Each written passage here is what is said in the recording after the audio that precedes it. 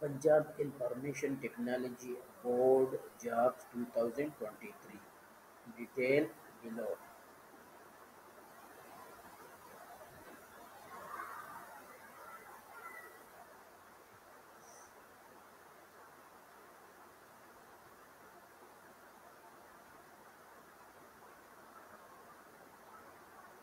Education Master.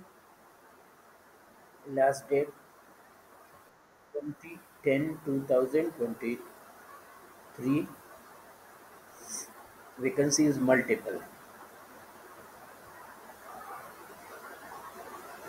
These are vacant position. You can check your syllabus.